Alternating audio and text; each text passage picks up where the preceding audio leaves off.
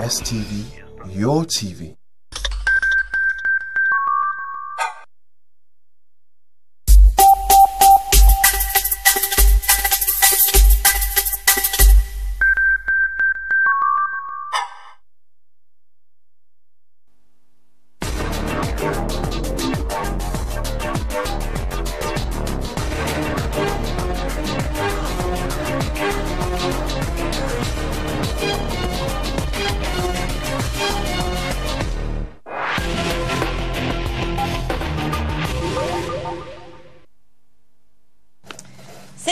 Édition du dimanche 14 mai 2017. Bien le bonjour à tous et merci d'être sur STV.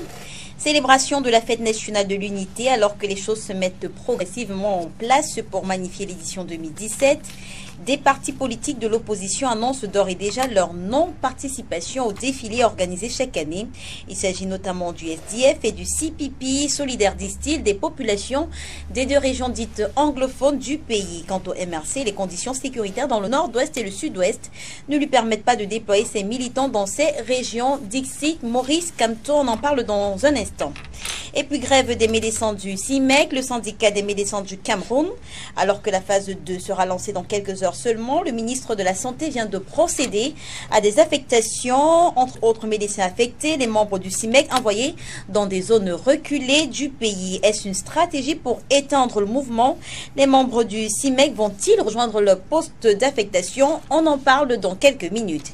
Et pour finir, nouveau rebondissement dans la crise administrative qui secoue la Fédération de football. Dans un courrier daté du 3 mai, la secrétaire générale de la Fédération internationale de football Association convie les différentes parties à une réunion le 8 juin prochain. Que peut-on attendre de ces assises? L'état ainsi présenté, faisons à présent connaissance avec le panel. On va commencer par vous, Anissé Canet du Manidem. Bonjour et merci d'être avec nous. Bonjour. Bonjour aux téléspectateurs de STV2. Alors, j'ai envie de vous demander quelle est l'actualité qui a le plus retenu votre attention cette semaine? Oh, bah, En général, le, on s'intéresse un peu plus aux problèmes sociaux. C'est la grève des médecins Oui. et les débordements du ministère de la Santé. Le débordement minable au niveau des, des- des affectations. Très bien. Alors, moi également, j'ai une question pour vous. Les dates, des, les dates des examens officiels ont été maintenues au Cameroun en dépit de tout ce qui s'est passé. Alors, jusqu'à la fin de cette semaine, les élèves dans le nord-ouest et le sud-ouest étaient toujours en plein cours de rattrapage et dès demain, les épreuves pratiques du DCI seront lancées. Alors, le forcing, le forcing, celui qu'on observe pour euh, éviter absolument qu'on ait une année blanche, vous pensez que c'est une option salutaire? Ce n'est pas un forcing, je pense que c'est une, une nécessité pour le- les élèves de, cette région du pays. Vous savez, euh, la, situation sécuritaire à l'extrême nord, euh, en réalité, aurait également euh, poussé à une année blanche, parce que les conditions dans lesquelles les, enfants, les scolaires prennent le cours à l'extrême nord est autant difficile que ce qui pourrait ce qui se passe dans les régions du nord et du sud-ouest. Au nord et sud-ouest, il y a, disons, quatre mois, en fait, sans cours. Mais au, au- à l'extrême nord, depuis deux ou trois ans, toute l'année, euh, d'abord, il y a un certain nombre d'élèves qui ne vont même pas, qui ont été déplacés, les professeurs ont été déplacés, il n'y a pas eu cours. Et puis, les conditions de, de, de scolarité sont très, très difficiles. Donc, je pense que si on, le gouvernement cherche les parents également, et même les enseignants à éviter une année blanche, c'est une bonne chose. Parce qu'en réalité, dans cette affaire, qu'est-ce qui perd Ce sont les, les élèves et les scolaires qui perdent dans, ce- dans cette affaire. Euh, je ne vois pas pourquoi est-ce qu'on ne ferait pas tout, tout, en fait, ce que vous considérez comme forcing pour que l'année scolaire euh, se termine effectivement par des examens. Très bien. Euh, juste en face de vous, presque, hein, on reçoit euh, Jean-Robert Wafo du Social Democratic Front. Bonjour, monsieur Wafo, et merci d'avoir accepté notre invitation. Bonjour à tous les spectateurs. Alors, le dernier communiqué du MINESEC fait savoir justement que même ceux qui n'ont pas pu s'inscrire à temps dans les délais impartis ou se sont inscrits hors de leur euh, euh, sous-centre d'origine seront autorisés à composer dans les sous-centres de la région où ils se trouvent sous réserve des régularisations ultérieures. Alors, vous pensez qu'à la fin de la journée, tout ceci peut être euh, productif? Parce qu'à la fin de la journée, quand même, il faut noter que les chiffres des candidats inscrits sont loin d'être suffisants.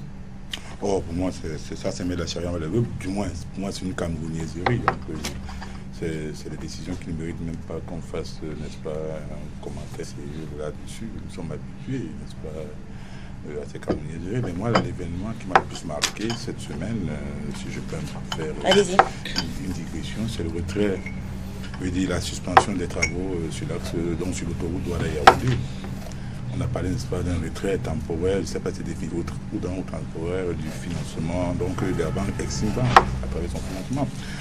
Moi, je dis, c'est vraiment scandaleux. C'est scandaleux qu'on en soit compté automatiquement sur des partenaires extérieurs, alors que dans ce pays, euh, nous avons une loi, la loi, la loi de 2008 euh, portant création de la caisse de dépôt et de consignation, qui a été suivie par le décret, par un décret de président de la République en 2011 je me pose la question de savoir pourquoi jusqu'ici euh, cet organisme n'est pas créé. Parce que voyez-vous, dans les pays, euh, euh, dans, les, pays qui, ont qui disposent de cette structure, par exemple en France, c'est la Caisse de dépôt et de consignation qui finance les HLM, certains côtés territoriaux et même qui apporte des appuis aux entreprises. en Allemagne, par exemple, c'est la Caisse de dépôt et de consignation qui euh, finance le régime des retraites. Bon, ben, au Cameroun, ça existe depuis 2008. bref, la loi existe depuis 2008, le décret qui a suivi existe depuis 2011. Six ans après, c'est pas encore cité. Parce que la Caisse de dépôt et de consignation, quand insiste là-dessus, c'est quoi? C'est un organisme qui est également chargé dans le développement économique et qui peut effectivement, n'est-ce pas, financer certains projets euh, de développement économique par le biais des organismes spécialisés suivant les priorités, n'est-ce pas, du gouvernement. Bon, on se demande bien pourquoi on ne crée pas cela. On se demande bien où vont les consignations au Cameroun. Parce qu'il euh, y a trois sortes de consignations, les consignations administratives, euh, euh, correctionnelles et puis juridiques. Parce qu'on est dans un pays où, d'ailleurs, ce décret, quand vous dites bien ce décret, ce décret est clair. Les consignations, les, les consignations c'est quoi? C'est les dépôts, par exemple, des clients détenus par les auxiliaires de justice. Je veux dire, par exemple, les greffiers des différents tribunaux, parce que vous savez que quand vous avez un problème, on vous demande de faire une, consignation au tribunal. Où va cet argent? Il n'y a aucune question. Où ça va C'est également dans les dépôts des notaires, c'est les dépôts des administrateurs et des mandataires en exercice de leurs fonctions, c'est les fonds euh, euh, de contrepartie, c'est également les fonds issus des comptes inactifs dans les établissements bancaires, c'est également les fonds des indemnisations euh, euh, euh, pour cause d'expropriation d'utilité publique. Où va tout cet argent? Cet argent, on ne sait pas où ça va. J'ai pris l'exemple pour que tous les compatriotes nous comprennent. Nous comprennent. Des consignations dans les tribunaux, ça va où? Très bien. Donc, et les experts, n'est-ce pas, évaluent, pour ceux qui sont modestes, ils disent que depuis que le Cameroun existe, ça fait, n'est-ce pas, environ 6800 milliards de francs CFA. Sais pas où ça va. Et ceux qui sont euh, euh, euh, un peu plus sévères parlent de 12 000 milliards de francs CFA détournés dans ce sens. Où va cet argent? Cet argent aurait pu, par exemple, aurait pu nous permettre, par exemple, de financer certains grands projets structurants plutôt que de se retourner, n'est-ce pas, vers des partenaires extérieurs qui nous prêtent de l'argent à des taux usuriers. Voilà, où va cet argent? Il faut bien qu'on dise ça au Camerounais. Très bien. Bon, voilà, donc c'est ça qui m'a marqué donc, le plus. Bon, voilà, une fois de plus, le chantier est bloqué est bloqué, ce qui ne suit pas pour Cameroun. Merci Monsieur Jean-Robert euh, Wafo d'avoir accepté notre invitation. Nous présentons à présent la dame sur le plateau, le docteur Yvette Balana. Elle est enseignante à l'Université de Douala. Bonjour docteur, merci d'avoir accepté notre invitation. Bonjour Léla, merci de m'avoir invité. Alors, on revient justement sur euh, le plan éducation avec vous, notamment euh, les épreuves du DCI qui seront lancées dès demain 15 mai à travers tout le triangle national. Alors, on revient justement dans le nord-ouest et le sud-ouest pour dire que sur le plan sécuritaire, euh, il faut également préciser que les élèves qui choisissent d'aller composer demain ne sont pas totalement safe parce que on a tous vu la vidéo de ce jeune garçon qui s'est fait violenter parce qu'il essayait de se rendre euh, à l'école en, tenue. Alors tous ces facteurs mis ensemble, je parle du climat social, de l'aspect sécuritaire et des cours qui n'ont pas été euh, normalement dispensés. Vous qui êtes enseignante, est-ce qu'au finish on ne demande pas trop à ces, à ces jeunes quels résultats est-ce qu'on peut attendre de ces examens en termes de crédibilité, justement euh, bien, il faut d'abord relever, comme euh, le disait tout à l'heure euh, M. Ekanen, que c'est tout à fait normal que le gouvernement cherche à sauver, hein, à sauver entre guillemets une année qui ne s'est pas déroulée dans les normes. Maintenant, il faut revenir au principe. C'est quoi l'examen officiel? L'examen officiel, c'est une, c'est la sanction d'une année scolaire, puisque nous parlons des scolaires. C'est la, la sanction d'un processus pédagogique. Donc, sur cette base-là, on peut parler de forcing, effectivement, parce qu'il y a des critères pour évaluer une année. Il y a le critère contenu. Est-ce que tous les contenus des programmes ont été euh, dispensés à ces euh, élèves dans les conditions que nous connaissons depuis plusieurs mois? Que non. Et le deuxième critère, c'est le critère du quota horaire. Chaque euh, enseignement, chaque unité d'enseignement, si je peux parler comme à l'université, a un quota horaire, a un quota de pratique des euh, euh, la dimension politique pour dire est-ce que les stratégies de pourrissement, quel que soit le camp hein, qui emprunte ces, ces stratégies de pourrissement-là, est-ce que ces stratégies de pourrissement ont tenu compte du fait que l'éducation, c'est le lieu de l'émancipation des peuples et que jusqu'à preuve de contraire, du contraire, notre projet national, puisqu'on parle d'unité nationale, reste et demeure notre projet d'émancipation. Et il se fait à l'école. Donc, donner bien des diplômes aux gens, mais ces gens auront quelle, euh, euh, comment je dirais, quelle formation hein, la crédibilité de leur diplôme à l'étranger, peut-être ça va se jouer cette année. La crédibilité de nos diplômes, quand on sait que tous ceux qui nous viennent dans nos universités sont ceux qui n'ont pas pu aller euh, euh, à l'extérieur. Voilà vraiment une problématique très,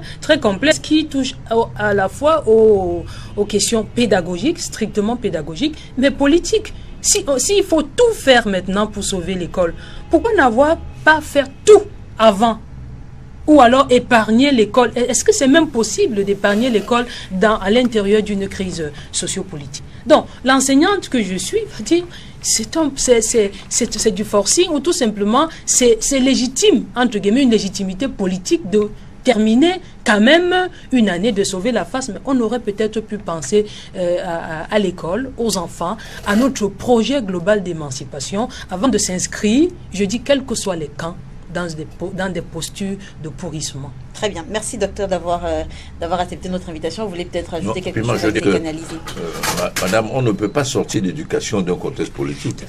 Lorsque, euh, les, lorsque les étudiants font grève, ils pensent aussi à leur scolarité. Mais lorsqu'ils se projettent dans l'avenir et voient que cette grève pourrait faire en sorte que leur avenir soit meilleur, ben, on s'engage dans la grève. Personne n'aime a priori la grève. Donc, ce qui s'est passé au sud-ouest et au nord-ouest, il faut l'insérer dans tout le développement du contexte politique. et bon, c'est pas la première fois qu'on fait des, des, des, mois sans aller au cours. Je me rappelle en 92, les années 90-91, lors des villes mortes, bon, il n'y avait pas cours non plus, hein, que je sache. Très bien. Merci messieurs d'avoir accepté notre invitation. Merci madame. Je précise que nous étions censés recevoir euh, monsieur Mangassan, Mangazin du Rassemblement démocratique du peuple euh, camerounais qui décommande juste à l'instant. Vous notez certainement euh, que la chaise reste vide. Alors, célébration de la fête nationale des partis politiques de l'opposition notamment annoncent leur non-participation au défilé, une action menée en solidarité des populations du nord-ouest et du sud-ouest et au rang de ces partis Jean-Robert Wafo, le parti dans lequel vous militez, le Social Democratic Front. Tout à fait. Euh, le chairman John Fondi, à travers une directive, euh, a fait savoir, n'est-ce pas, à tous les militants, et après consultation, n'est-ce pas, euh, de certains cadres du parti, de certains dirigeants du parti, a fait savoir que nous n'allons pas participer au défilé du 20 mai 2017. Bon, j'observe depuis le déclenchement, depuis la publication, n'est-ce pas, de ce communiqué, euh, j'observe, n'est-ce pas, euh, qu'il y a des recoulements et des, cris d'offres, euh, venant notamment de certains cadres du parti État qui présentent toujours la particularité, n'est-ce pas, de faire, du, du dénigrement systématique du conservatisme de la pensée unique, chaque fois que nous montrons que nous, non. cette, notre position, c'est une grave interpellation, n'est-ce pas, à l'endroit des pouvoirs publics, euh, sur, euh, n'est-ce pas, euh, le risque d'une escalade irréversible dans ces deux régions. Parce que, voyez-vous, on a bien observé que le gouvernement a, porté, a fait certaines concessions euh, c'est une concession qui, pour nous, en réalité, sont des solutions à minima parce que euh, ceux qui ont cru depuis que le problème se situait uniquement au niveau de l'intégration corporatiste, nous l'avions dit, c'était des doux rêveurs. Euh, et voilà, aujourd'hui, on en a sept mois. Nous ne pouvons pas participer à cette fête dans ces conditions. Quand 8 régions sur 10, quand cette fête se déroule dans 8 régions sur 10 et, dans, et pas du tout dans deux autres. C'est clair qu'il y aura des manifestements dans des charters, n'est-ce pas, du côté du nord-ouest et du sud-ouest. Mais nous, notre position a été dictée par notre haute conscience républicaine qui veut, qui nous impose, ainsi que nos valeurs humanistes, euh, qui nous impose une solidarité sans faille vis-à-vis, n'est-ce pas, de ces populations, des populations de ces deux régions, qui, il faut le dire, sont prises en otage par le système gouvernant. Très bien. On va peut-être. Voilà, nous ne pouvons pas encore que, euh, n'est-ce pas, euh, cette fête, pas, nationale se prononce souvent avec des agapes et des beuveries, nous ne pouvons pas cautionner cela, alors que nous avons des gens qui vivent dans deux régions dans une situation insoutenable. Donc voilà, nous disons tout simplement qu'il est temps de regarder les problèmes en profondeur et nous estimons que les problèmes, c'est vrai, le mal-être des Camerounais, c'est-à-dire avec du fait des conditions de vie qui sont euh, draconiennes, le mal-être est connu. Mais en plus de cela, dans ces deux régions, il y a ce problème, n'est-ce pas, de notre héritage biculturel et également le problème fondamental, c'est la reconsidération de la forme de l'État. Ça, je pense pour ma part que dans un pays qui se respecte, la forme de l'État doit être le consensus du moment, clairement euh, exprimé par le peuple camerounais, par le peuple, je veux dire, à travers un référendum qui peut être précédé par une conférence constitutionnelle comme nous l'avons proposé. Très bien, Donc, je dis, bomber le torse ne va pas euh, euh, mettre fin à l'escalade qui serait un danger et dont nul n'a absolument besoin en, cette période, en cette période sensible de la vie de la nation. Anissé Kane, euh, le Manidem également a, rendu public une déclaration. On le comprend, contrairement au SDF, le Manidem compte prendre part aux activités organisées pour euh, euh, magnifier la fête de, l'unité. Mais qu'est-ce que vous, vous pensez justement du fait que le SDF ne défilera pas, notamment des raisons évoquées? Vous avez mal lu notre déclaration dans aucune ligne. On, fait, on a dit que nous ne nous allons défiler. Nous avons dit que nous ne nous associons pas au monordre unilatéral des cavaliers du SIF. D'accord. Généralement, euh, le 20 mai, nous avons pris toujours l'habitude de ne pas défiler dans les grandes villes et de donner la possibilité, pour des raisons tactiques de représentation, à la RPI, à nos sections de défiler. Je crois que ce sera la même chose euh, cette année. Mais je voulais dire que je suis très gêné euh, par les, les envolées lyriques de mon ami Wafo sur euh, le sens humaniste et républicain de leurs décisions. D'abord, si, euh, le SDF se considère comme le premier parti de l'opposition, je crois que ce genre de décision devrait être consensuel. Il parle beaucoup de consensus, mais j'ai l'impression qu'il oublie qu'un consensus devrait aussi exister entre les partis de l'opposition si nous considérons que nous sommes face à un régime uni par les Camerounais. Donc il y a un manque, une façon cavalière qui date de 92 et qui n'arrange pas la synergie des partis de l'opposition dans la conduite de cette opposition. Donc je pense que c'est quand même surprenant. Deuxièmement, en plus, comme lui-même l'a dit, c'est une décision de M. John Fundi, président, chairman du, du SIF. Non, pas du tout.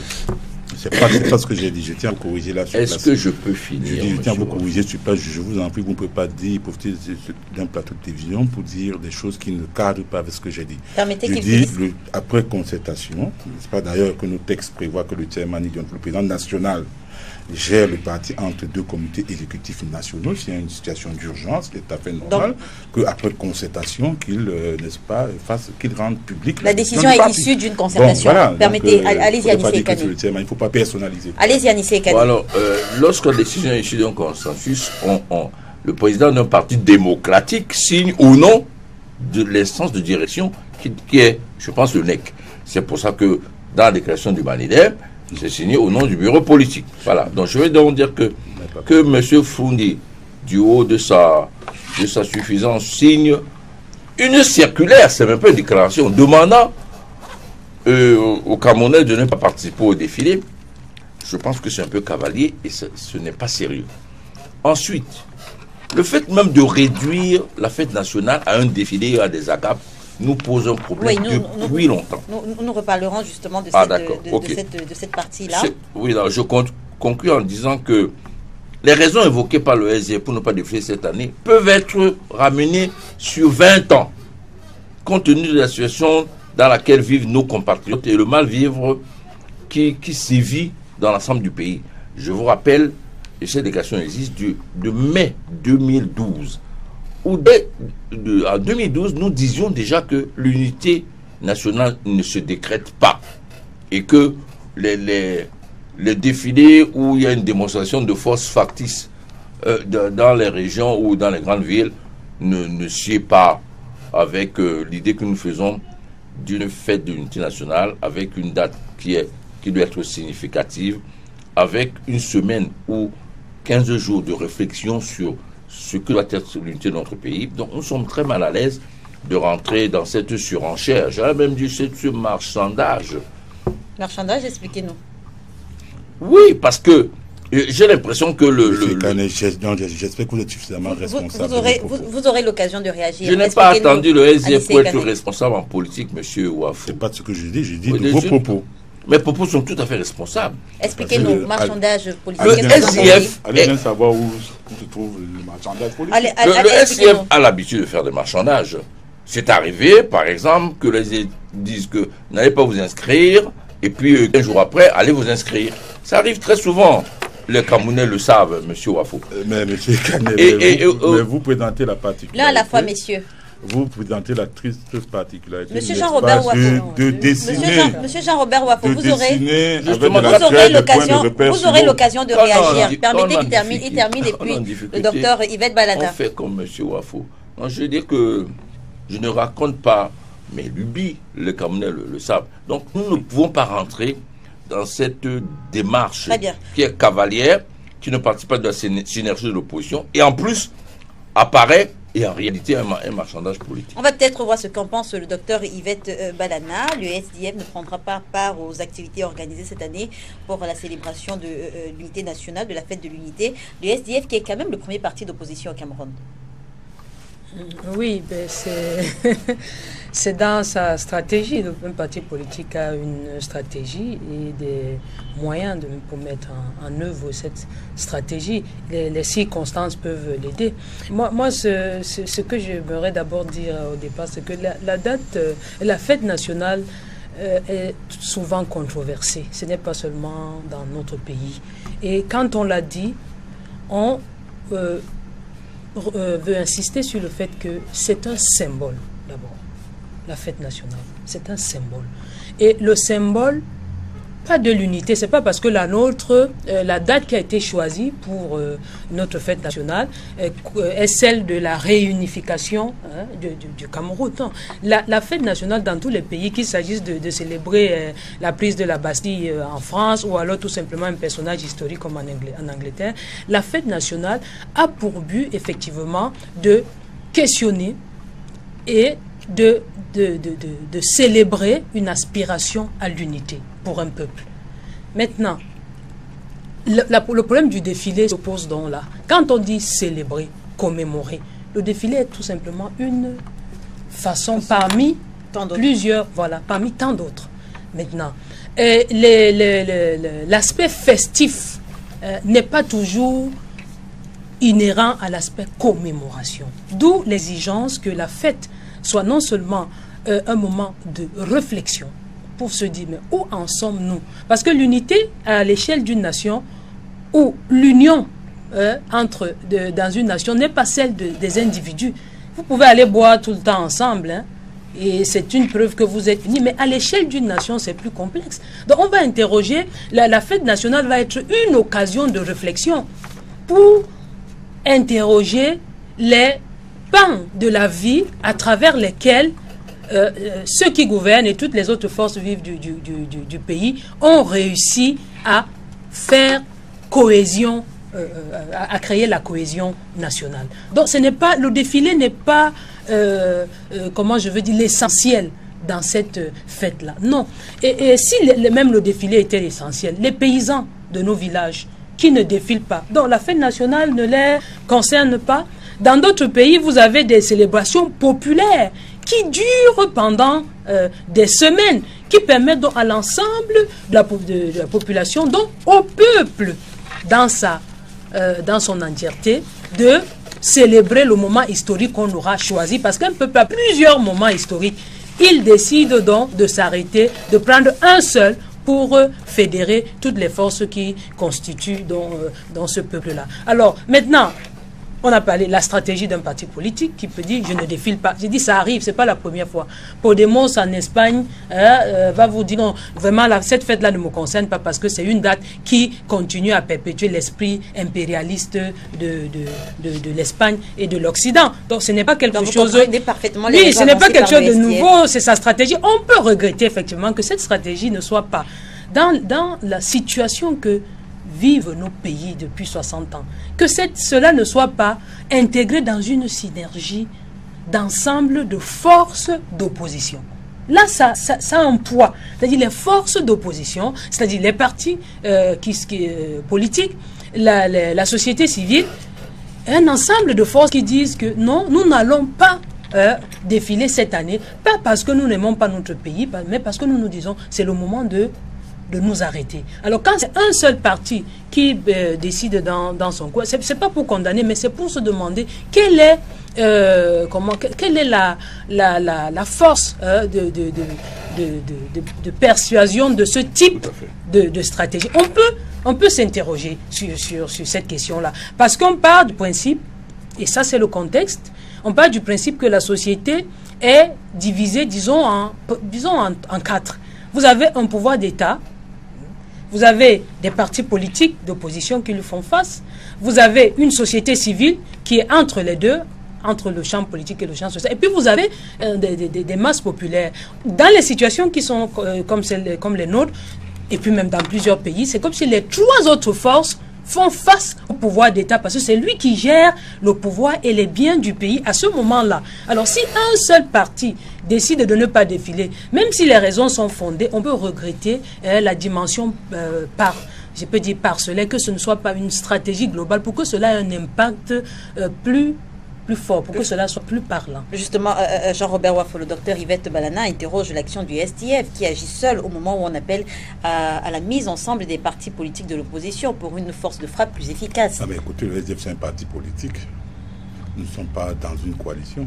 Un parti politique à un moment donné euh, peut exprimer son point de vue. Rien n'interdit un parti politique d'exprimer son point de vue comme le, le, de M. Ekanet Anisser pas le manidem de M. A exprimé son point de vue. Est-ce que je peux parler Tout à l'heure, vous m'avez demandé donc, de ne pas vous interrompre. Est-ce que vous pouvez faire de même euh, comme le manidem de M. Ekanet Anisser a choisi, n'est-ce pas, de défiler euh, dans l'arrière-pays et pas du tout, euh, n'est-ce pas, dans les grandes villes. Bon, peut-être c'est parce qu'ils ont des militants clairsemés. Non, mais moi, je vais dire une chose, c'est quoi? C'est que c'est pas, quand M. Ekanet parle de décision cavalière, il faut quand même que la planète un peu sérieux. Est-ce que quand le Manidem prend une, prend une décision, est-ce que cette décision, est-ce que le SDF conteste cette décision? Non. Mais faites de même. Vous avez par exemple choisi de, de, de, dans l'arrêt-pays. C'est votre choix. C'est votre option. Mais nous, nous avons dit, ok, nous ne participerons pas au défilé.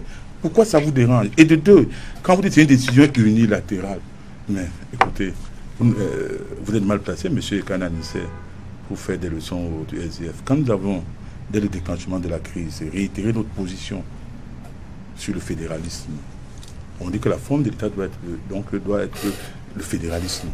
On a bien vu les militants du Manidem monter au créneau, je ne sais pas commandé par qui. On dit que non, nous ne sommes pas pour le fédéralisme, non, nous ne sommes pas. Mais, mais, écoutez, une coalition se construit. Et je vais vous dire, quand vous parlez donc de marchandage, il suffit que vous-même, M. Ikané, que vous regardez dans votre propre rétroviseur. Je ne vais pas plus loin.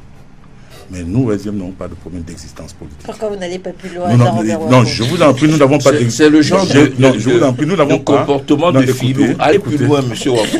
Écoutez, écoutez, le respect que j'ai pour le combat que vous aviez mené par le passé, que nous avions notamment, mené. Oui, que nous avions mené, m'oblige à ne pas aller plus loin. Allez-y. Mais bon, les si comprendront. Si Allez-y. Mais ce que non, non, non, j'ai pas vocation comme lui à, inscrire des points de repère sur l'eau avec de la crête.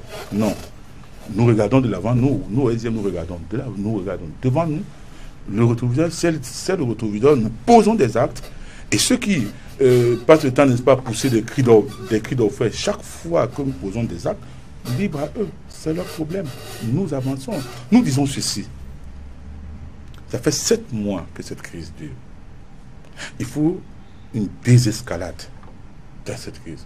Les solutions, c'est-à-dire que les concessions corporatistes, n'est-ce pas, euh, du gouvernement, tout le monde a pu constater que ça n'a pas pu résoudre cette crise. Ça veut dire que c'était des solutions à minima.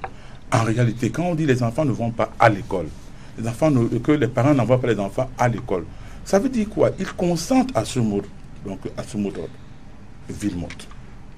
C'est clair, vous n'allez pas forcer quelqu'un d'envoyer son enfant à l'école. Cherchez plutôt à savoir pourquoi il n'envoie pas son enfant à l'école. Quand vous avez la fièvre, ne cassez pas le thermomètre. Observez le thermomètre. Sachez ce que ça contient, qu'est-ce qu'il veut? Effectivement, le gouvernement feint d'ignorer, parce qu'ils le savent, mais publiquement, le gouvernement feint d'ignorer, le système gouvernant feint d'ignorer que le problème réside au niveau de la forme de l'État. C'est ça le véritable problème. À l'époque, bon, il y avait une génération à l'époque euh, bon, euh, qui a pu faire euh, ce qu'elle a pu, mais aujourd'hui, les gens se sont émancipés. Ils ont dit, mais attention, nous sommes dans un pays, nous venons, que nous sommes, nous étions deux entités, nous sommes devenus une entité. Nous avons quand même des textes qui consacrent le biculturalisme, par exemple la loi d'orientation de l'éducation, qui dit quoi? Qui dit que le système scolaire euh, est organisé en deux sous-systèmes, l'un anglophone, l'autre francophone, par lequel est, je dis, c'est les textes, Bien sûr. c'est-à-dire par lequel est réaffirmé, pardon, par lequel est réaffirmé l'option nationale du biculturalisme. C'est dans les la loi d'orientation de la décentralisation, non, de l'éducation. Maintenant, le président de la République vient donner un coup de massue. Il crée plutôt la commission euh, donc, nationale pour le bilinguisme et le multiculturalisme. Ils se sont sentis insultés. Pour eux, c'était une façon, n'est-ce pas, de banaliser et de généraliser le problème anglophone. Voilà, au lieu plutôt, n'est-ce pas, d'apaiser les cœurs, le gouvernement passe le temps à prendre des décisions. Qui est à la tête de cette commission C'est quelqu'un qui est Et c'est justement ce qui- que le c'est quelqu'un qui, hier, qui bien avant la nomination, est allé dans euh, son sud-ouest, donc dans le sud-ouest, dit que nous ne sommes pas solidaires, donc euh, du nord-ouest, c'est eux qui ont des problèmes. Et c'est lui qu'on nomme là-bas. Non, je pense. Et les évêques l'ont dit. Les élèves l'ont re- les évêques, les évêques l'ont relevé dans leur communiqué. Oui, les enfants partent à l'école. C'est leur droit le, le plus absolu. Je ne commande pas, c'est les autorités morales qu'on respecte dans tout pays. Mais ils ont également précisé qu'il faut passer à la décentralisation totale. C'est ça le problème, Madame Léla Très bien. Ganzeux. Pour passer à la décentralisation totale, pourquoi on refuse? Pourquoi une poignée d'apparatchiks refuse? Il faut que les Camerounais le sachent sur ce plateau. Ceux qui refusent, ce sont ceux qui ont transformé la manne financière de l'État centralisé en leur mamelle nourricière. Est-ce que vous savez, Madame Léla Guedza, le dernier rapport de la Chambre des comptes pour le compte de l'exercice 2015, la Chambre des comptes les membres de la Chambre des comptes sont nommés par le président de la République. Donc, pas les- peut pas soupçonner, on ne peut pas dire que c'est des opposants qui ont donc pondu ceci. Qu'est-ce que ce rapport a dit? Que le budget de fonctionnement 2015 du budget de l'État, donc de l'État du Cameroun, a été détourné à hauteur de 40% par le biais des marchés fictifs et les marchés de gré à gré. Or, ce budget de fonctionnement en 2015, c'est de 2315 milliards, Madame.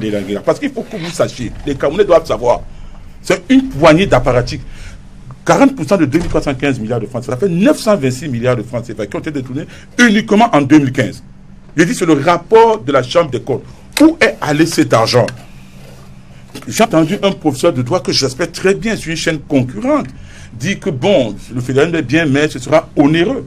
Mais sauf qu'il oublie que ce qu'on a détourné dans ce pays est de loin supérieur au PIB.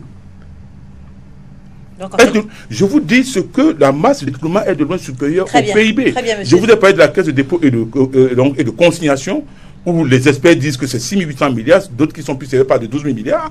Je vous parle du rapport 2015 seulement de la Chambre, donc, donc de la Chambre des comptes, qui dit 926 milliards ont été détournés au, ti- de- au titre de. Dit, revient je- ne parle pas, je vais pas parler donc des salaires fictifs. Passons au fédéralisme. Apaisons les cœurs, ça n'a rien d'onéreux. Sauf que vous allez voir des gens venir intoxiqués parce que ceux qui, disent, qui combattent même le fédéralisme Très ne savent même peut-être pas Jean-Robert. de quoi ils parlent sur le plan économique. Wafo. Euh, Ils ne sont pas au courant, au courant des réalités, pour des réalités avancer, du pour avancer dans ce dans, pays. dans- dans le débat, euh, Anissé et Canet. Alors, je veux dire que généralement, quand on, on ne sait pas exactement où aller, on va dans tous les sens. C'est exactement le comportement de M. Wafo. Parce que tous les députés SDF, Vous êtes bien poli. Hein. je suis très poli, tous les députés SDF, lors des élections depuis 1992, n'ont pas été élus sur un programme de fédéralisme à deux États, et même de fédéralisme. J'apporte, je, je serais bien ravi dans Incroyable. je serais bien ravi que M. Wafo nous montre la profession de foi de leur candidat où on parle de fédéralisme. Dans nos, dans nos statuts, nous parlons de fédéralisme. La profession de foi. Je dis, nous parlons de fédéralisme. Quand vous, quand vous entrez dans le SDF, vous savez très bien que la forme de l'État que le SDF souhaite, c'est le fédéralisme. Messieurs l'un à la fois. Ne racontez pas des Wafo. camerounais. Candidat. Allez-y. Ce terme, voilà. Je parle sous votre contrôle, madame, vous êtes citoyenne. Un candidat est élu sous une profession de foi. Si dans la profession de foi, il n'y a pas le fédéralisme, c'est que vous avez joué avec les Camerounais. Pas du tout. Et comme d'habitude, vous dans faites toutes de les l'opposition. dans toutes les professions de Jean-Robert- foi, de Jean-Robert tous les Wafo- candidats Wafo, à la députation, tous inscrits du Jean-Robert comme vous forme aurez, de l'État. vous aurez l'occasion de réagir. Permettez qu'il Bon, voilà. poursuive. Permettez qu'il Deuxièmement, dans cette récupération euh, généralisée, le SDF parle de fédéralisme maintenant à plusieurs États. À ce que je sache, les activistes du Nord-Ouest et du Sud-Ouest parlent de fédéralisme à deux États. Donc il y a une contradiction entre ce que maintenant vous prenez, fédéralisme à plusieurs, plusieurs États. J'ai entendu plusieurs responsables du SDF dire qu'ils ne sont pas pour un fédéralisme à deux États. Peut-être que vous ne savez pas comment se passe un référendum. De toutes les façons, nous allons soumettre le nombre d'États. Jean-Robert Jean, Wafo, ce n'est pas, ce n'est pas non plus une dessus. discussion entre Anissé et Voilà. Kadevou. L'un à la fois. Bon, je, me, je suis quand même fier que lui se préoccupe, n'est-ce pas, du programme politique du SDF. Monsieur- Anissé, et Kane avait la parole. Jean-Robert propre Jean-Robert programme Wafo, Anissé et On, Kane on avait la parole. rédige depuis la clandestinité le programme politique, M. Wafo. Depuis les années 80. Mais commentez votre programme politique. Premièrement, non, je connais bien le vôtre. Non, commentez votre programme politique. Premièrement. Il vous suffit de faire devenir deux- Il faut faire le dernier saut. deux- deuxièmement, Commentez votre programme. deuxièmement, je vais rappeler aussi aux téléspectateurs, à M. Wafo, que la notion même de biculturalisme sur la base de deux langues étrangères est une grossièreté pour un pays qui se veut souverain. Et les UP6, depuis leur début, ont combattu justement cette façon de voir l'avenir du pays sous le prisme des colons. Le Cameroun, avant sa division en deux zones francophones, existait. Il avait 957 000 km. Commencez par ne pas parler en français. Encore moins en anglais. Justement, j'y viens. La proposition de nos, de, de nos partis depuis des, des lustres, c'est justement de diviser ce pays en régions décentralisées, mais sur la base. commune. C'est des langues d'expression finir, communes. Ne rentrons pas dans ce débat. Euh, euh, euh, Jean-Robert Wafo, Jean-Robert Wafo, permettez qu'il poursuive et qu'il termine d'ailleurs.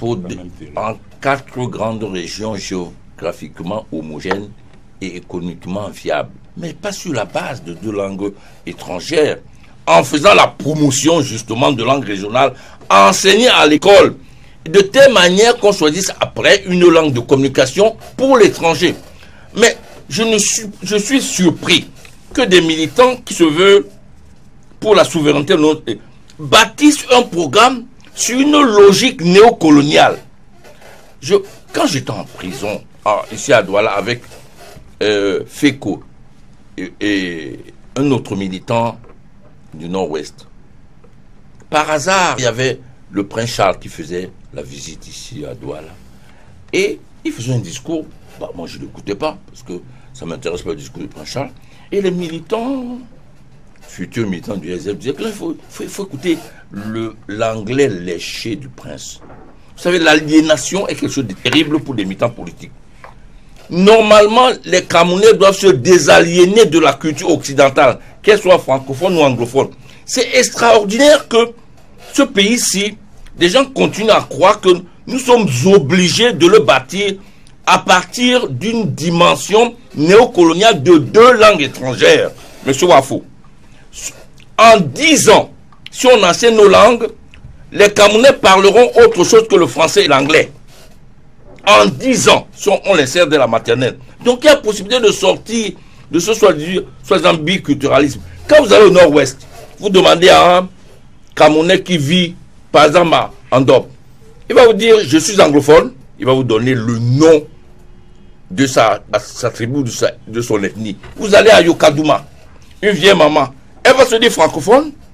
Où est le problème pour ces vieilles mamans aujourd'hui? Que ce pays s'enferme dans des langues étrangères. Vous, êtes justement dans le faux complet parce que vous ne voyez pas que les pays africains doivent se désaliéner des cultures occidentales. Vous nous enfoncez. Le gouvernement parle de multiculturalisme. Mais bien sûr qu'on est dans un multiculturalisme. C'est ça le vivre ensemble. Il y a, plus, il y a des, des, populations camerounaises qui ont, qui ont des cultures différentes.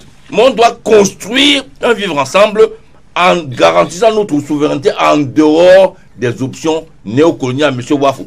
C'est ça le problème de fond. Très bien. Madame, Très bien. Madame Ah, on nous va avons- sortir, on va- on Oui, va nous sortir. avons euh, vraiment, il faut éviter de faire dans le populisme. Donc, donc, dans le populisme. Genre, euh, euh, je vous en prie. Vous savez, juste vous savez- vous 30 savez- secondes, vous- vous madame. savez qu'il y a une dame également dit- sur le plateau. le Bon, si elle peut parler, et puis bon, je reviens après. Voilà. On va, on va justement sortir de ce débat hein, Non, mais- euh, avec la façon dont on célèbre, parce que ça commence à aller dans, dans tous les sens, avec la façon justement dont on célèbre aujourd'hui euh, l'unité nationale au, au Cameroun. Vous en parliez déjà, docteur Yvette euh, Balana. Comment devrait-on célébrer finalement l'unité nationale? Par ce genre de questions, justement. Voilà. Voilà les questions fondamentales de l'unité Allez. nationale. Allez-y, Vous docteur savez, j'ai parlé de commémoration. La commémoration reste le parent pauvre de- des célébrations au Cameroun aujourd'hui. Vous le verrez pour euh, la journée internationale du travail, La journée internationale de la femme, qui sont des journées et euh, deviennent des fêtes.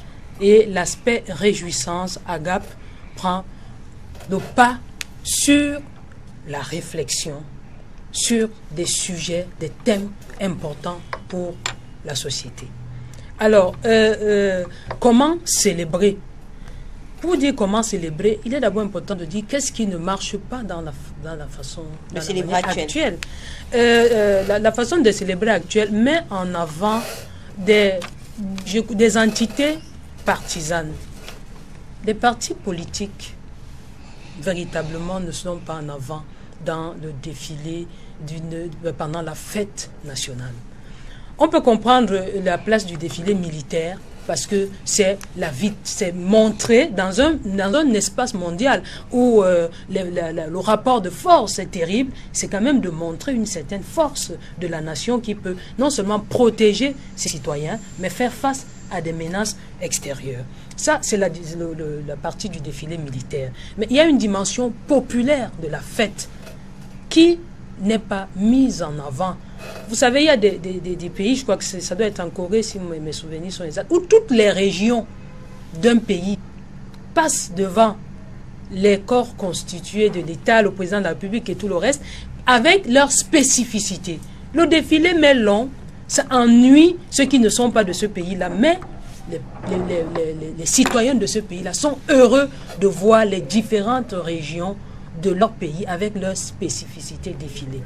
Troisièmement, euh, euh, dans la dimension qu'on peut appeler euh, arrière-pays l'arrière-pays. Parce que nous défilons dans les grandes villes, dans les départements, mais au village, ça concerne, ça concerne pas le villageois. Comprenez? Ça, c'est, c'est l'une des choses. Mais pourquoi cela euh, est-il difficile? Cela est, euh, faire ce type de, de célébration est difficile parce que il y a, euh, un- nous avons un problème avec notre histoire pas seulement avec la date qui a été retenue. Parce qu'on peut retenir, on peut retenir n'importe quelle date. hein. Dans certains pays, les dates ont évolué. On était d'abord, on, on célébrait euh, peut-être le, le, le- le 1er mai, après on est passé au 4 Mais même mai. ça etc. le 1er Effectivement, janvier. au Cameroun, ça, ça a évolué. Maintenant, je, je disais que on peut... euh, euh, euh, la- la- la- le problème de la date, le problème de notre histoire est au cœur de la façon dont ce défilé se déroule. Quand nous ne sommes même pas d'accord avec notre histoire, vous avez vu le débat entre M. Ekane et, et M. Wafo. Ce sont des partis politiques qui euh, vont, euh, euh, qui, qui se battent pour accéder au pouvoir, qui n'arrivent pas en s'entendant sur l'histoire, parce que le- la question anglophone n'est pas une affaire des gens habitant dans deux régions. voyez, c'est une affaire nationale. C'est une c'est- lié à notre histoire. Ah oui. C'est lié à la, euh, à- ça, permet de mesurer jusqu'à quel niveau nous avons été coupés de nous-mêmes, Aliénés. de notre sève. Et je crois que sur vos plateaux, je, je l'avais dit une fois, que quand vous allez dans cette zone, par exemple du sud-ouest où moi j'ai habité, quand vous rencontrez une femme qui sort du village toute sale, qui marche sur euh, l'asphalte très bien fait de, de, de, de, avec son régime de plantain sur la tête, n'allez pas lui parler de la question anglophone, francophone. Elle n'y comprend euh, absolument rien. Mais vous avez vu ce qu'on peut appeler aujourd'hui des intellectuels faussaires au Cameroun qui pilulent, qui euh, sont anglophones avant d'être camerounais. Nous sommes d'abord francophones avant d'être camerounais. Or, l'histoire se bâtit. sur- L'histoire peut être manipulée. L'histoire peut être arrangée parce qu'on veut produire un roman national. Mais un pays s'entend d'abord sur des éléments probants d'une histoire. Et quels sont ces éléments probants de notre histoire? Nous avons d'abord vécu une période pré-coloniale avec des structures de l'État, de l'éducation qui sont là, qui existent dans des livres qui sont enseignés à l'université. C'est une période. Et puis un jour, il y a eu un envahisseur, le colon. Avant même qu'on ne soit divisé en anglophone et en francophone, on a été une colonie allemande.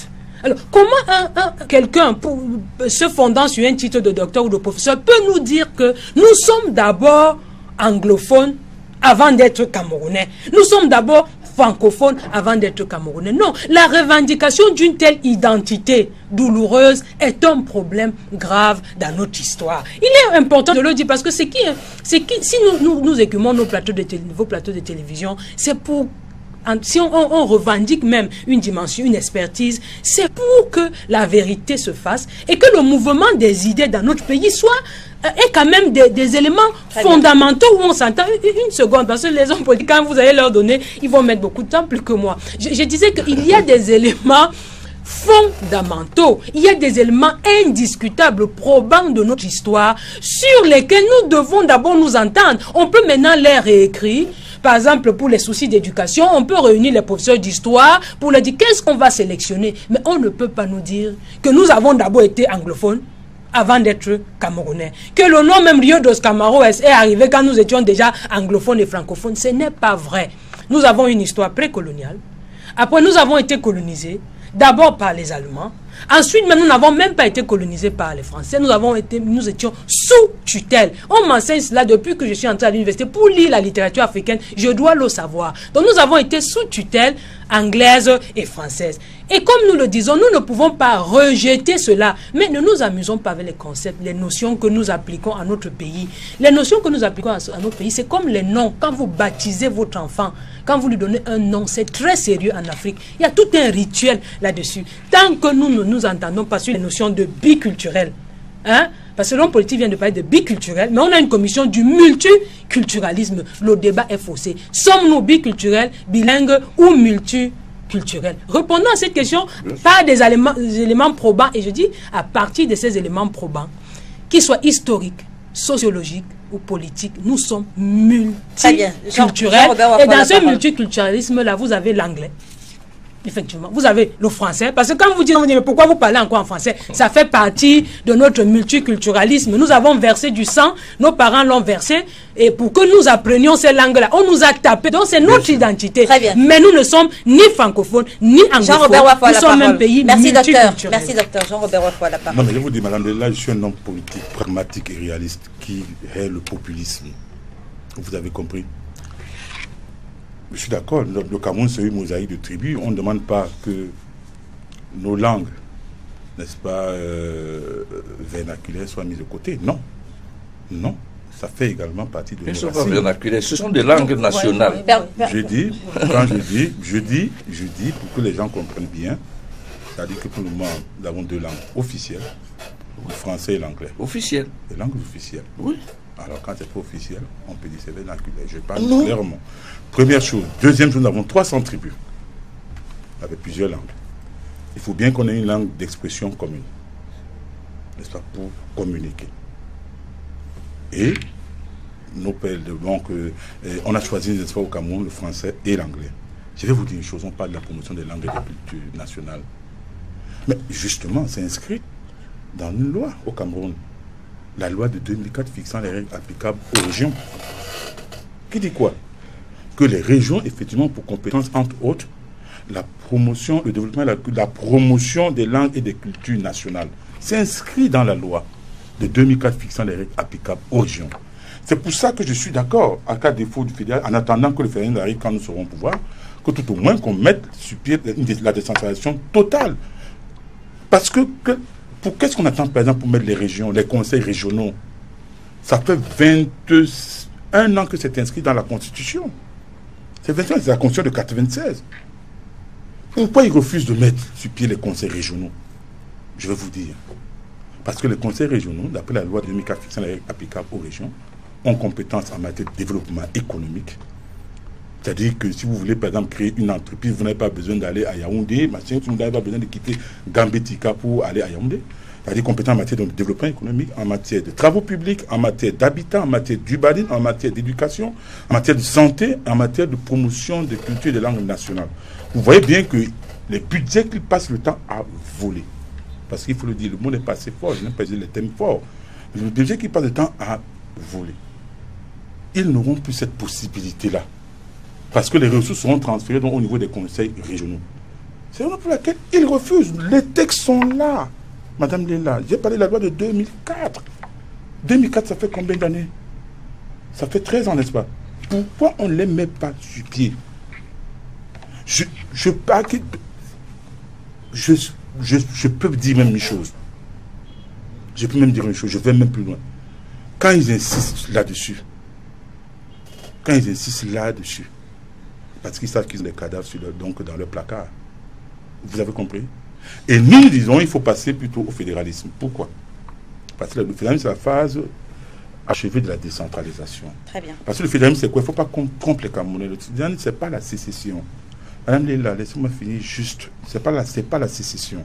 Entre 61 et 72, au Cameroun, il n'y a pas eu de sécession. Le Cameroun était une république. Une république au sens vrai du terme. Le fédéralisme, c'est quoi? Je vais expliquer au Camerounais simplement. C'est un système d'organisation, d'administration et de gouvernement dans lequel l'État euh, est organisé en État fédéré, bien sûr avec un État fédéral central, mais en État fédéré, et, partage avec ces États fédérés euh, des compétences en matière juridictionnelle, en matière administrative, en matière... Le dans le fédéralisme, la séparation des pouvoirs est clairement énoncée dans la Constitution fédérale. Et l'État fédéré ont compétence sur tout, tous les domaines. C'est pour ça qu'il dit que c'est la phase achevée. Sur tous les domaines. Tels que les domaines euh, qui relèvent de la compétence dans, des conseils régionaux aujourd'hui. Mais l'État, les États fédéraux ont compétence sur tous ces domaines, développement économique, euh, euh, santé, éducation, en dehors des domaines de souveraineté gérés par l'État central, par l'État fédéral. les domaines de souveraineté, c'est quoi? C'est la diplomatie, c'est la sécurité aux frontières, c'est la sécurité intérieure, c'est la monnaie et c'est les normes qui sont gérées par des, agents de normes. Comment, Madame Leila, j'ai bien l'habitude de prendre cet exemple. Vous avez un salaire ici à STV2. C'est à base d'un certain nombre de, de charges qu'on vous a assignées. On vous dit, on baisse ces charges, mais on maintient votre salaire. Et vous vous plaignez. Si vous vous plaignez, si vous refusez, c'est parce que vous avez ce qu'on appelle des combos extra. On ne peut pas vous diminuer une charge et on vous maintient le même salaire et vous vous plaignez. Ça veut dire qu'il y a quelque chose qui ne va pas. Non, je pense pas que pour qu'il y ait une désescalade, il faut que le problème sur la forme de l'État soit remis sur la table. Très bien. Et qu'il y ait un dialogue sincère et qu'il y ait la concertation, l'entente et surtout qu'à la fin, que à la fin de cette conférence constitutionnelle, qu'on soumette, n'est-ce pas, cette proposition au Anissa peuple Anissa par voie référendaire. Si on ne le fait la- pas, si on ne le fait pas, j'ai peur de ce qu'il n'y ait pas une désescalade et que bien évidemment que euh, les événements qu'on observe aujourd'hui euh, euh, reprennent, c'est-à-dire bref, prennent une vitesse inconsidérable et dont nul n'a absolument besoin. Anissa Ekane est en le dernier à s'exprimer sur la, sur question, Rapidement, notamment la- rapidement la sur comment est-ce qu'on devrait La conférence nationale souveraine de 91-92 devait aborder tous ces problèmes, il s'en fout. Mais moi, je comprends. La Mais ça revient. c'est- ça, là, on, on y est. À cause La de dif- l'autisme la- du la- gouvernement. oui, la, la- la différence entre euh, Wafo, SDF et, et Canem, Manidem est celle-ci. C'est que vous vous cramponnez au- à la superstructure, pas au fondamental. Nous, on se cramponne au fondamental. Vous savez, le, le, le- notre bilinguisme euh, étranger vient du fait que ce gouvernement néocolonial, le régime RDPC, surfe entre ses deux partenaires français et anglais. Voulant faire... Le, le Rwanda a banni la langue française et on parle qu'anglais. Et la langue du pays. Donc c'est c'est pour- Parce que c'est une langue commune. Non, non, non, non, non. C'était le français Ils ont avant. battu Donc- le français. Ils, non, ils Non. ont banni le français parce qu'il y a eu des problèmes, de, il y a eu une crise Non, diplomatique. Canet, ça, veut- dire qu'on peut sortir de ces deux langues-là. même une langue commune. Ça fait plus de 30 ans. Le professeur Tadadieu, malheureusement, il est mort, qui était mon camarade de classe, a, a fait des, des- des- des recherches disant que on peut arriver à quatre grandes langues nationales dans ce pays. Nous, on a fait la proposition depuis les années 80 qu'on peut avoir quatre langues et quatre régions. Le Grand Sud, le Grand Centre, le Grand Nord, le Grand Ouest et le, le, le Grand Littoral avec quatre grandes langues. Le Douala, le Fufulde, le Mendumba et le Hundo. Et en 10 ans, nos enfants vont parler ces langues-là. Monsieur, il ne faut pas une décennie. Non, Autre, au- autre euh, remarque, m- monsieur, monsieur Wafou. Ce qui fait problème dans notre pays, c'est pas parce que euh, on gère mal du côté francophone, du côté occidental, euh, euh, anglophone. Parce que de 61 à 72, il y a eu 11 ans de fédéralisme de gabégie. Donc, c'est pas la structure, la structure de l'État qui est fondamentale. C'est la nature de l'État. C'est-à-dire quel genre d'État? Est-ce que c'est un État néocolonial, un État démocratique et populaire? C'est la différence entre nous. Et je finis en disant, vous savez, monsieur Bafou, il faut que les Camerounais, les militants, se projettent demain. Est-ce que c'est normal qu'après 60 ans d'indépendance, un Camerounais ne puisse pas apprendre à l'école avec une langue nationale Est-ce que c'est sérieux? Je veux juste vous aider. Est-ce que On c'est ça mon déjà problème? Le chinois dans nos universités. Vous, entendez, Bien vous, sûr. vous trouvez les Camerounais agrippés en train d'apprendre le chinois. chinois, mais je ne comprends pas des citoyens camerounais trouvent que non, on ne peut pas trou- trouver une ont combien de un pays siècles? fort, c'est également un pays qui se tourne vers Elles les- ont combien de siècles? Très bien. Je ne suis pas contre nos langues nationales. Mais je dis qu'un pays fort, c'est également un pays qui se tourne vers l'extérieur. On ne peut pas mettre de côté le français et l'anglais.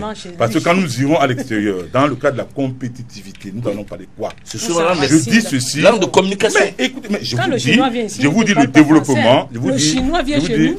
je vous dis le développement, le développement des langues et des cultures nationales est inscrit dans nos lois. Mais c'est de la faute du système gouvernant si on ne. pas- J'ai entendu par exemple le ministre euh, euh, euh, de l'enseignement secondaire dire qu'il y aura le travail manuel et que ce sera coefficient 2. Mais pourquoi on n'introduit pas aussi les langues nationales coefficient 2 Très bien. Bon, voilà par exemple. Donc je dis d'accord pour les langues nationales, mais il ne faut pas rêver. Je suis pas un doux rêveur, je dis le pays doit être économiquement fort, et pour être économiquement fort, il faut être compétitif. Merci, il faut, il faut merci. être compétitif. Il faut parler avec les partenaires Merci Jean-Robert. extérieurs Merci et Jean-Robert même On va prendre la transition. On va prendre la Voilà. transition et on parle du second sujet. Transition.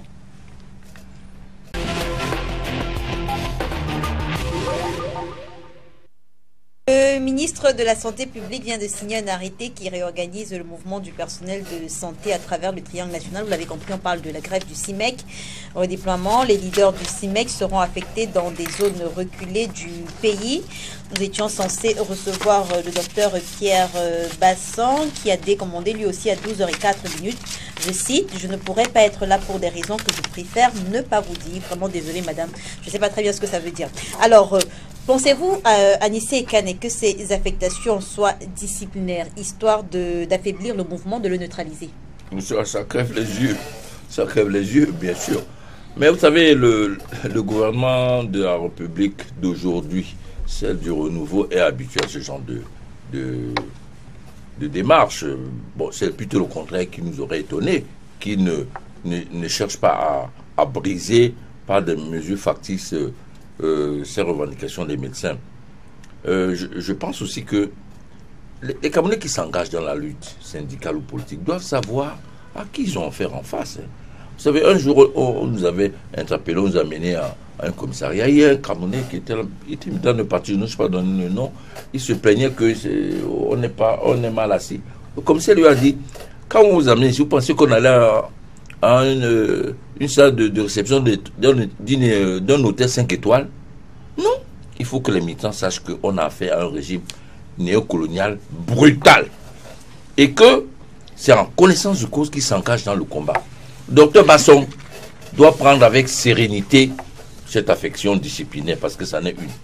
Et faire comme le docteur Félix Moumier qui a été affecté dans le nord de façon disciplinaire également et qui en a profité pour l'implanter du PC dans le nord du pays. Je crois que il peut continuer sa lutte syndicale là-bas, peut-être même la développer. Il y a d'autres médecins dans la région pour faire euh, mentir euh, le docteur Fouda sur sa, la capacité qu'il pourra avoir de briser une revendication ou un mouvement qui, qui repose sur des choses justes. Ce n'est pas normal qu'un médecin qui a fait 8 ans, 9 ans, 10 ans d'études soit réduit à la mendicité alors que un caporal-chef roule sur de l'or. Ça pose un problème. Très bien. je précise une fois encore que nous étions censés recevoir euh, euh, un magasin du Rassemblement démocratique du peuple camerounais. Vous aurez peut-être l'impression que le débat est un tout petit peu euh, déséquilibré. docteur, Yvette, docteur, Yvette, Balana, cette façon de faire, de procéder du ministre de, de, la Santé, vous pensez que ça peut être productif? Oui et non. Oui et non. Mais avant de répondre à votre question, peut-être vous allez me la rappeler. Disons qu'on peut faire, euh, on peut formuler l'hypothèse, euh, M. Ekane, que c'est une affectation disciplinaire. Et vous avez titré que l'unité en question. Ça remet l'unité en question. S'il y a encore des zones au Cameroun où vivre là-bas ressemble à vivre dans un bagne, alors euh, l'affectation est disciplinaire et c'est encore plus grave. Oui, c'est la faute du C'est encore plus grave parce que si vous y allez, pour travailler dans le sens de la santé des populations du Cameroun. Il n'y a pas un endroit où un Camerounais ne doit pas être, ne peut pas être affecté. Il y a une gestion rationnelle des ressources humaines, madame. Maintenant, si vous allez, vous allez là-bas euh, dans, dans, dans, dans, le cadre d'une affectation disciplinaire, ça veut dire qu'il y a encore beaucoup de problèmes en, en termes d'unité. Mais d'un point de vue professionnel, si vous êtes neurochirurgien, et que vous allez dans une boutique où il n'y a pas, il y a quelques gouttes d'alcool et du coton, c'est encore, euh, c'est encore très grave. Maintenant, si, nous restons dans cette euh, hypothèse-là que c'est une affectation disciplinaire, quand on est membre, quand on s'engage, comme disait tout à l'heure mon copanéliste, on doit, on, doit peut-être savoir, hein, connaître l'histoire même du syndicalisme. Parce que l'histoire du syndicalisme est une histoire violente, Très violente. douloureuse des milliers et des milliers de morts dans certains pays. La répression. Moi, j'ai commencé à étudier le, national, le, syndicalisme à l'université en étudiant le Maghreb. Et on avait un cours là-dessus et on nous, nous parlait donc du, premier syndicat tunisien. Et les syndicats connaissent même des périodes d'éclipse. On les, on les réprime tellement, ils disparaissent et ils renaissent, ils entrent dans la clandestinité et ils renaissent. Maintenant, est-ce que ça peut porter des fruits Dans notre contexte, on peut dire oui. Parce qu'on a encore un problème en termes de syndicalisation de la société. On a encore un problème à ce niveau-là. La conscience politique, la circulation, le mouvement des idées. Vous voyez comment on n'arrive même pas à s'entendre ici sur les pans euh, euh, euh, clairs plus ou moins clair de notre histoire. Donc ça peut marcher parce que ces zones-là, nous n'avons pas de technologie euh, partout. Est-ce qu'il y a Internet dans ces zones-là pour que celui qui est affecté très loin puisse agir, même ce qu'il a dit? Parce qu'il y a des méthodes de la technologie moderne qui font que si vous êtes secrétaire général d'un d'un syndicat, parce que je, parle en connaissance de cause, je suis syndicaliste, mais vous n'avez pas besoin d'être physiquement quelque part pour, euh, pour agir. Euh, mais peut-être même l'affectation disciplinaire peut vous permettre de faire connaître effectivement votre syndicat. Et, la, la, deuxième chose qui peut euh, me permettre de dire oui, ça, ça, ça peut être productif, c'est que le, syndicaliste, le, politique dans tous les pays, on a le cas de la France qui nous a, sur, laquelle nous étions sous tutelle, on, a fait du syndicat, quelqu'un qu'on soupçonne. On le soupçonne de, défendre une certaine, un, certain, une certaine idéologie politique. On le, on le soupçonne d'être dans, dans, dans l'antichambre du pouvoir. On le soupçonne de tout. Donc lui qui va dans à l'arrière-pays, comment va-t-il faire pour continuer son militantisme, pour continuer, parce qu'il y a aussi une sorte de prosélytisme, comment il va faire pour continuer ce militantisme-là? Et euh, je crois que je dirais, pour, pour terminer, qu'il y a même eu, je, pourrais dire, régression. C'est paradoxal. Il y a un mouvement, une, euh, un développement de mouvements associatifs au Cameroun, mais il y a régression du syndicalisme, de l'esprit euh, syndical. Je, je vais vous prendre... Parce des- qu'il est revendicatif. voilà, je vais vous prendre l'ex- l'ex- l'ex- l'exemple qui est le nôtre. Quand vous dites, moi je suis du, du- du syndicat euh, national des, enseignements de- des enseignants du supérieur, le CINES, vous, vous êtes un groupe, vous êtes euh, dans une coordination, vous dites nous avons Assemblée Générale. L'Assemblée Générale, c'est pourquoi? C'est pour informer vos collègues sur peut-être l'avancée, euh, les avancées en termes de négociation avec les autorités, en termes des revendications que vous entendez mener, même s'ils ne viennent pas hein, euh, prendre leur carte de membre. Mais la, la salle pouvait avoir 500 euh, enseignants dans une université, mais vous vous retrouvez dans une salle pratiquement vide. Parce que vous êtes suspect hein, d'être peut-être de 1001 bords. Vous êtes suspect parce que vous représentez des gens peut-être fous. hein, fous de s'engager dans un contexte où on peut facilement réprimer. Et vous êtes aussi fou de ne pas euh, si vous êtes sincère, de ne pas voir qu'il y a un gâteau national. Vous voyez la- en quoi on réduit un pays en, notion de gâteau, quelque chose qui peut pourrir, qui peut se détruire, alors que le pays c'est l'éternité. Donc on, vous soupçonne peut-être même d'espérer partager avec d'autres ce gâteau national. Donc les, affectations du ministre, effectivement, peuvent porter quand on voit le contexte qui est le nôtre, le niveau euh, de conscience politique, le clientélisme, la, la, la, la, la rhétorique du manger qui continue à structurer euh, beaucoup de conscience euh, dans nos pays. Mais ça peut aussi ne pas marcher parce que dans tous les, les, les coins du- de- de- de- de- de- d'un pays où on envoie un véritable militant, il y aura toujours quelque chose à faire. Jean-Robert Wafo, affectation disciplinaire, quel est votre avis sur la question? D'abord, je constate que chaque fois qu'il y a une affectation disciplinaire, euh, euh, qui sont affectés rejoignent toujours le Grand Nord, c'est-à-dire c'est la Damawa, c'est donc c'est l'extrême Nord. Il faut qu'on nous dise, veut-on nous Ouais, allez, ils devraient aller ça. Veut-on nous- bon, Ouais. la, la plupart du temps, c'est le Grand Nord. Oui. Il y a eu deux autres cas au niveau du CED, où euh, on a pondu, n'est-ce pas, euh, une autre, où le secrétaire d'État à la défense, M. Jean-Baptiste Boucan, apporte une autre, et même motif corruption. Affectation, c'est Adamawa, extrême nord. Un peu comme si, euh, la, si l'Adamawa et l'extrême nord avaient vocation uniquement à n'accueillir que des agents corrompus. Moi, je dis, c'est la preuve de ce que vraiment l'unité nationale au Cameroun, en fait, elle n'est pas réelle, elle est abstraite et même virtuelle. Parce qu'on reconnaît que d'un côté, il y a les vraies régions et que de l'autre, il y a des régions qui ne peuvent, accueillir que des régions. Maintenant, pour venir euh, euh, au problème des médecins, vraiment, c'est un, un scandale. J'ai comme l'impression que le ministre Mama, André Mama Fouda, qui est ingénieur de génie civil de formation, je le crois bien, il confond le bistouri, euh, euh, c'est pas euh, au, au clou. Il faut le dire ainsi. Parce que voyez-vous, quand on a fait un neurochirurgien, on fait partie un neurochirurgien, l'unique neurochirurgien de Le Bamenda, seul du Nord-Ouest. du Nord-Ouest, le- l'unique Qui Nord-Ouest, également enseignant. qui est enseignant, l'unique enseignant de neurologie à la faculté de médecine de Bamenda. On l'a fait, on l'amène ailleurs. Moi, je dis c'est un génocide programmé de toutes les personnes euh, qui auront l'AVC ou qui ont déjà l'AVC. Oui, c'est un génocide. Je dis c'est un génocide programmé, c'est-à-dire que de toutes les personnes souffrant de l'AVC. Il faut que ce soit clair. Et ce ministre, dans un pays normal, devait démissionner. Devrait démissionner. Que, que revendiquent ces médecins? La couverture maladie universelle, ce qui est normal, parce que le ministre lui-même, ainsi que toute sa famille, il y a une note, il y a une circulaire, il y a une décision qui a été prise le président de la République, qui euh, faisait état de ce que tous les membres du gouvernement, ainsi que certaines personnes à la présidence, les gens à la présidence, avaient droit à une couverture payée par l'État. Donc lui, il en a. Fouda a, il a la couverture maladie universelle. Ses enfants et sa conjointe, ça où c'est Ça ou ses conjointes.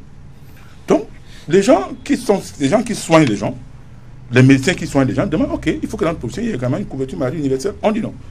Il faut améliorer donc le plateau technique. On dit non. Pour mieux répondre à l'amélioration, à la demande d'amélioration du plateau technique, on dit ok, on vous envoie là où il n'y a même pas de plateau technique. Est-ce que ça c'est un pays ça? Vous croyez que ça, que ça fait sérieux? Ça- ça- Non mais c'est ce écoutez, qui a fait suivre Ambassazan. mais- mais- fait suivre. Il a fui le débat. je dis, je dis, il faut faire très attention. Ces médecins-là, c'est parce qu'ils ont l'amour de la patrie. Parce qu'en fait, ils gagnent quoi? Comme le président Ikana a dit, ils gagnent quoi? Je vous rappelle qu'il y a 9000 médecins Camerounais à l'étranger qui gagnent bien leur vie. J'en connais qui sont partis d'ici, ils n'avaient même pas euh, une maison en planche. Mais bien? ils ont, mais ils sont partis là-bas. Ils sont partis là-bas, ils ont fait 10 ans. Je dis, ils ont fait 10 ans, ils ont construit des immeubles ici. Alors qu'un neurochirurgien, je vous dis, c'est Bac plus 14. Comme monsieur Maman Fouda, je, donc, je, donc je crois que c'est Bac plus 5, un truc comme ça. Quelqu'un, Bac plus 14, il s'occupe de la neurologie. Vous l'envoyez dans des hôpitaux, je ne sais pas si c'est des hôpitaux du sport. Donc, parce qu'en réalité, vous, donc vous les envoyez dans, dans un centre de santé qui comporte à peine deux chambrettes. Et même pas du tout de lit. Vous croyez que vous faites du mal à qui Mais qui on devrait envoyer là-bas mais vous faites... Non, mais écoutez, s'il y a un plateau technique là-bas, non, mais écoutez, il faut bien que les gens aillent là-bas. Je suis d'accord, il faut bien que les gens aillent là-bas, mais il y a une question de rareté dans la spécialité qui impose qu'ils soient dans une ville plus accessible. C'est-à-dire que pour que, quelqu'un- pour que ceux qui en souffrent puissent se déplacer puis venir là-bas. Vous avez compris? Et puis, s'il y avait des plateaux techniques là-bas, il n'y aurait pas de problème. Mais vous déplacez quelqu'un, un médecin, spécialiste, d'un endroit où il réclame qu'à cet endroit-là, il y a un plateau technique, moi, il demande qu'on améliore le plateau technique. Vous le déplacez pour l'envoyer là où il n'y a pas de plateau technique du tout. Mais j'ai comme impression, c'est-à-dire, mais il faut, c'est-à-dire, je pense pour ma part que il faut, euh, il y a des gens dans ce pays qui méritent, à défaut, Il n'est-ce il pas, faut- il faut la révolution. qui méritent à défaut, à- il y a des gens dans ce pays qui méritent à défaut, n'est-ce pas, d'être internés dans un cabanon, que tout au moins qu'ils fassent un tour dans, dans, dans, dans chez un psychiatre. Parce qu'on ne peut pas comprendre comment quelqu'un peut avoir le courage, un, un humain, quelqu'un humainement constitué, peut poser des actes d'une aussi grosse monstruosité. Ce n'est pas possible, Madame Léla. Ce qu'on assiste là, c'est pas. Si, si, si ces médecins-là décident, ok, on va, à la- donc on va dans le privé, on sera obligé donc de les suivre dans Très le privé pour payer des consultations uniquement peut-être à 50 000, 60 000 francs CFA. Alors, alors justement, Donc, le, euh, le- le président, le président, docteur Basson, neurologue en service à l'hôpital régional de Bamenda, a été affecté au centre médical d'arrondissement de Somalomo dans la région de l'Est. Le vice-président, le docteur euh, Kamta, neurochirurgien en service à l'hôpital général de Douala, a été affecté au centre médical de l'arrondissement de Ngaoui dans la région de l'Adamawa. Le secrétaire général, le docteur Ntundumu, en service au centre médical d'arrondissement d'Akono, a été affecté au centre médical d'arrondissement de Mayo, Baléo dans la région de l'Adamawa.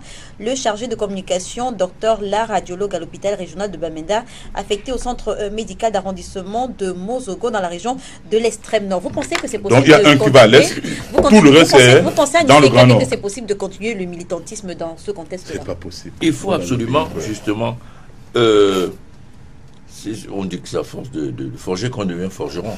Je, je crois que l'objectif du gouvernement, c'est de décourager tous ceux qui s'engagent soit dans la lutte syndicale, soit dans la lutte politique. Vous savez, dès les années 90-91, lors des années de Brest, on avait posé le problème du syndicalisme. Bon, certains responsables de cette dynamique politique n'y voyaient pas euh, euh, un grand intérêt. Le Cameroun, en Afrique centrale et même dans toute l'Afrique subsaharienne, est l'un des seuls pays où les syndicats n'ont pas survécu à la dictature. Partout ailleurs, au Gabon, au Congo, partout ailleurs, en Afrique de l'Ouest bien sûr, les syndicats ont survécu à la dictature politique. C'est sous Haïdou que tout a été rasé. Les syndicats, même, on avait même rasé, même le avait été suspendu, même les associations culturelles. C'est dire ce qui se passe dans notre pays. Et on n'en est pas sorti, puisque c'est la continuité du régime néocolonial avec euh, le régime du renouveau. Ce que je voulais dire, il faut que les, militants politiques s'arment de, patience et de courage. Ça sera très dur. Et moi, je dis qu'ils prennent avec sérénité, si- s'ils le veulent, ces affectations et qu'ils le retournent comme le fait souvent un boomerang contre le régime. Ce sera tant mieux pour la lutte dans notre Docteur pays. Yvette Balana. Oui. Moi, je voulais dire que c'est regrettable. Vous savez, tout le temps, on nous rappelle que nous sommes un jeune État. Mais nous sommes un jeune État dans un monde global. où Nous avons des exemples que nous, qui peuvent nous inspirer. Je vous ai parlé du cas de la France où la- les pouvoirs ont reprimé de manière sanglante les- le syndicalisme. Et c'était un syndicalisme ouvrier. C'était les classes les plus défavorisées de, mineurs. de la société des mineurs. Nous avons, euh, nous parlons là d'un syndicat de médecins. D'abord, avant de passer au syndicat de médecins, je puis vous dire que ces, ces- ces luttes ouvrières qui ont permis de structurer le- l'organisation, le mouvement syndical en France aujourd'hui. Ces luttes ouvrières ont su, à un moment donné, se rallier du côté du pouvoir quand le pays faisait face à des événements historiques comme les deux grandes guerres mondiales. Donc le syndicat, comme on dit souvent, est un contre-pouvoir, est un miroir à travers lequel un pouvoir se regarde. C'est pour ça que le, syndicat lutte mais le syndicat aussi négocie avec le pouvoir. Donc nous pouvons, je crois que nos dirigeants peuvent regarder cette histoire-là et voir qu'à un moment donné, le syndicat ou les syndicats se sont rangés du côté du pouvoir pour mener des luttes, on parle de l'union sacrée. Alors que demande le syndicat des médecins? Le syndicat de de médecins ces exigences ne sont pas intimement liées à ces conditions, aux conditions de vie, strictement du médecin. Ce sont les moyens de travail qui permettent que non seulement le médecin euh, travaille dans des conditions euh, euh, idoines, mais que les malades qui n'ont même pas de, couverture médicale universelle puissent être soignés dans de bonnes conditions, qui, puissent être accueillis dans de, bonnes conditions. On ne peut pas appliquer les mêmes méthodes totalitaires qu'on a appliquées pour des ouvriers au 18e, au 19e siècle dans certains pays à des syndicats professionnels. Parce que Généralement, et je crois que c'est une euh, députée qui me disait l'autre jour euh, sur un de vos plateaux que nous ne sommes pas sains. Oui, il n'y a pas, on ne peut il n'y a pas de sainteté à l'intérieur d'un syndicat parce que il, dans les, dans les, il y a des, des, des- des divisions internes à des syndicats. Sur la base de quoi? Il y a des syndicalistes qui estiment que le syndicat doit rester autonome, en dehors de tout, de tout appareil idéologique. Mais, mais un syndicaliste fait partie d'une société.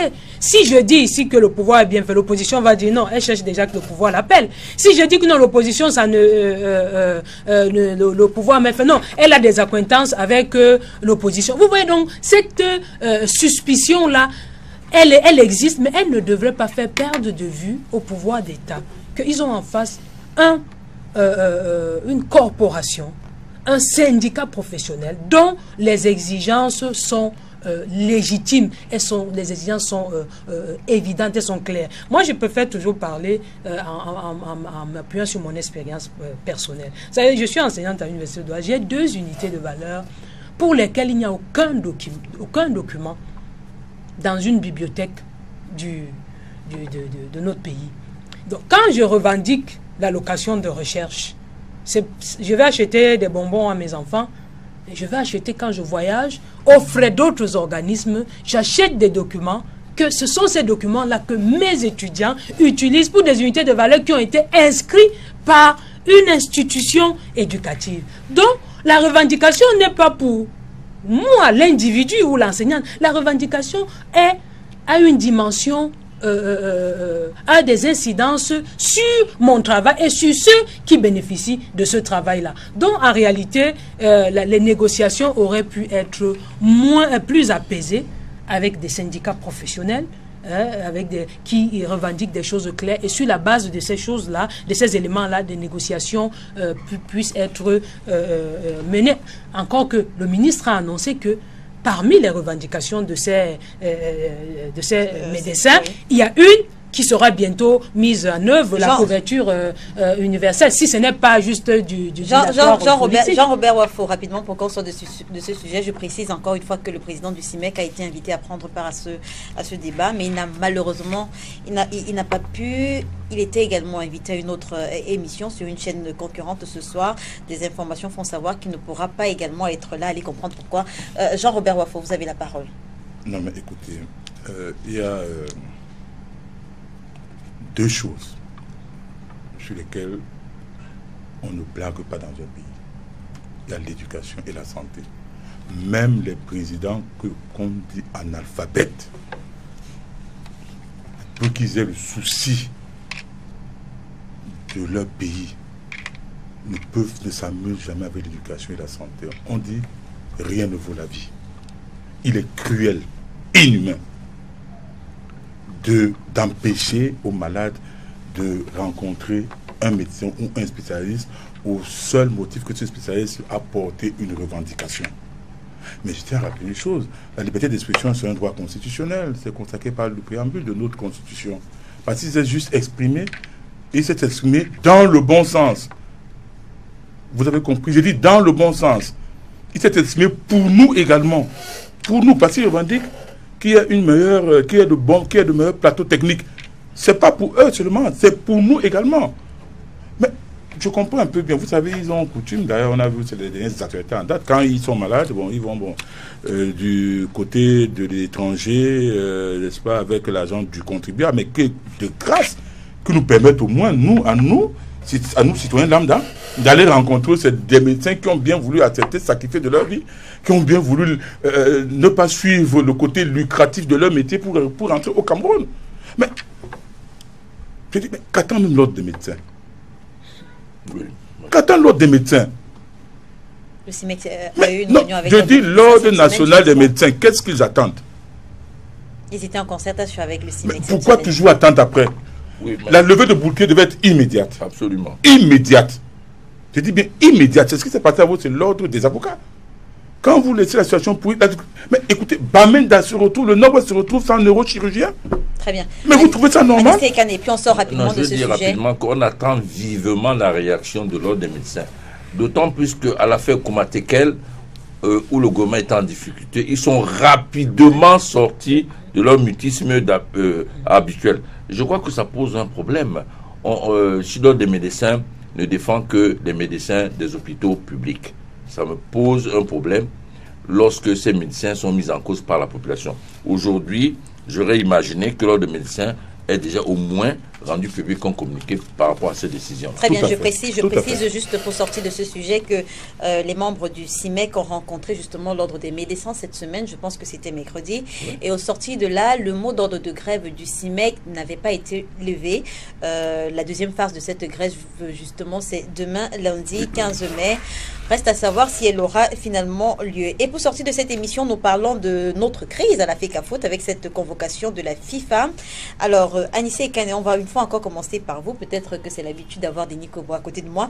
Que pensez-vous de cette nouvelle initiative de la FIFA pour résoudre ce long contentieux électoral qui dure depuis deux années maintenant, la FECAFOOT Mais elle consacre, elle consacre l'échec du gouvernement parce que euh, cette crise à la FECAFOOT est aussi liée à des problèmes de non-application des décisions euh, judiciaires dans notre pays. Euh, je crois que le ministre de- de- des Sports aurait pu euh, trouver un moyen de réduire cette, crise de la FECAFOOT. Ça pose quand même un problème que ce soit la, la, FIFA qui règle les problèmes internes qui sont liés à non-application des, lois. Bon, euh, tant mieux si euh, la, la crise va être résolue. Je n'y crois pas beaucoup. Je crois manifestement que la FIFA, comme à son habitude, va couper la poire en deux. Les, les- les protagonistes vont se mettre momentanément ensemble et ça va recommencer comme c'est le cas depuis une, dizaine d'années. Très bien. Euh, euh, Jean-Robert Wafo, Anissé Kane parlé justement de l'échec du gouvernement. On note justement que euh, les différentes parties ont été convoquées, mais pas le gouvernement. Quelle lecture vous en faites? La lecture que je fais, c'est quoi? C'est que le Cameroun, ceux qui nous gouvernent, je veux dire pour la plupart, c'est pas tous, parce qu'il ne faut pas généraliser. Je n'ai pas, une vision- manichéenne de la vie politique. Euh, cette crise a eu le mérite de ça de que dans ce pays, dans le système gouvernant, il y en a qui ne sont pas des hommes d'honneur, qui ne sont pas des hommes euh, qui sont euh, fidèlement attachés aux valeurs, aux hautes valeurs de la République, qui méritent, n'est-ce pas, que, qui imposent qu'on ait du respect. Parce que le football est, l'unique opium du peuple. S'amuser avec le football, c'est s'amuser avec la République. Je n'ai pas dit que c'est le sport, que c'est le football qui construit une république. Mais au moins, pour un temps, quand les Lions de notre table jouent, bon, on voit quand même des Caboulais sourire. Euh, On les voit quand même oublier, un tant soit peu, les, conditions de vie exécrables qu'on leur a imposées. Non, je pense qu'il faut taper du poing sur la table. La FIFA n'a pas besoin de couper la poire en deux. Que la FIFA dise le droit et rien que le droit. C'est tout. Et les problèmes vont être résolus. Et l'instance faite hier, nous avons vu la FIFA une fois suspendre, n'est-ce pas, le Cameroun, c'était à la veille de la Coupe du Monde euh, 98 Ouais. Le gouvernement, c'est-à-dire que euh, le, donc, le, le- le gouvernement est rentré dans ses bottes. Si la FIFA peut aime le football camerounais encore que bon, c'est le business, le foot est dans devenu c'est le business, mais je dis si la FIFA, si le gouvernement camerounais, si la FIFA est conséquente envers elle-même, notamment avec son nouveau président, qui est venu dire qu'il va changer les choses, il va plus sur la ligne la terre, si la FIFA est conséquente, elle doit dire le droit et rien que le droit. Et que le gouvernement camerounais. Qui n'a pas été convié, justement. Bien sûr, mais ils sont au courant de tous les problèmes. Ils auraient pu régler le Ils auraient pu régler le problème ici au Cameroun. Il y a une sentence, comme le président Alice a dit, une sentence qui a été prononcée par, euh, euh, par, euh, par euh, une instance. Pourquoi est-ce qu'on n'a pas fait Pourquoi on n'a pas fait Bon, ben, maintenant, ça ne sert à rien pour les gens de s'arc-bouter sur le siège. Vivement qu'il y ait une, désas- qu'il y ait une désescalade, comme j'ai dit, et que cette désescalade passe par euh, la concertation, l'entente et surtout l'humilité. Que les gens ne croient pas qu'ils sont. qu'on les a mis dans ce pays, on, les a- on les a créés pour qu'ils occupent un poste. Ils vont occuper ce poste, ils passeront, d'autres viendront. Les enjeux de, cette, de ces assises, docteur Yvette Balana. Bah, pas très- pas... pas très, très, très ancré dans le football, mais quand vous regardez, ça fait deux ans que la crise euh, dure. Et moi, je reviens tout simplement à ce que j'ai appelé notre projet d'émancipation. Et je, rejoins, M. Kahn dans la différence qu'il a fait entre la nature et la structure de l'État. Quand euh, la, nature de l'État est celle de ne plus avoir honte, quand nous l'étudions en littérature, l'image de, de l'homme politique euh, euh, ou du pouvoir d'État dans nos littératures, c'est celle des gens qui n'ont rien à foutre avec l'image. Quand vous avez, vous êtes agrippé à l'image, quand vous n'avez plus honte d'avoir honte, vous faites tout pour que les choses soient réglées parce qu'il y a des mécanismes, la, la, la, la FECAFOOT c'est une institution avec des mécanismes qui sont là, disponibles pour que les choses soient réglées. Qu'on soit appelé, même si c'est l'instance euh, fêtière, hein, qu'on soit appelé à être convoqué là-bas pour aller régler une crise qui dure euh, depuis deux ans, on, peut tout simplement regretter et, trouver que tout est politique dans une société, le football, la santé, la, tous, tous- tous- tous les domaines de la vie relèvent d'une d'une dimension politique. Un dernier mot peut-être, Anissé Kane, on fait un dernier tour de table et puis on sort définitivement Non, non, je voudrais dire que bon, le, le- le- Que ce ma- soit sur madame- les ma- SDF, que ce soit sur les CIMEC. Non, non, non, de- non, Madame Balana dit que bon, euh, elle appelle la nature et puis de, de la structure. Mais je crois que ce, ce régime est un régime néocolonial. Ils, ils- ils- ils se satisfont rapidement que les décisions du pays fondamental soient prises à l'étranger. Ils s'en satisfont sur plusieurs domaines. Je n'ai pas l'impression que ce- ça leur pose des problèmes, qu'ils soient obligés aujourd'hui d'être euh, euh, sur le banc de- de- des accusés dans ces crises et que la FIFA oblige l'État camerounais à suivre les dispositions de la FIFA. Un dernier mot, Jean-Robert Wafo. Oui, euh, c'est par rapport, euh, n'est-ce pas, à la crise anglophone. Il faudrait que le gouvernement, que le système gouvernant cesse de bomber le torse. Parce que le problème est connu. Il le, le système le sait. C'est la remise en cause de la forme de l'État. Il y en a qui veulent la décentralisation totale. Il y en a également qui veulent le fédéralisme. Nous, par exemple, nous voulons. Et il y a un dernier... Fédéralisme à deux États ou bien à dix États? Nous allons soumettre n'est-ce pas, cette proposition au peuple camerounais, qui de toute façon va s'exprimer par voie de référendum. Très bien. Il y en a également qui veulent la sécession, qui pour moi est à proscrire. Mais le fait de jouer à l'autisme risque de renforcer ce dernier camp, c'est-à-dire le camp des sécessionnistes. Il faut il faut qu'il y ait une désescalade, comme je l'ai dit tantôt.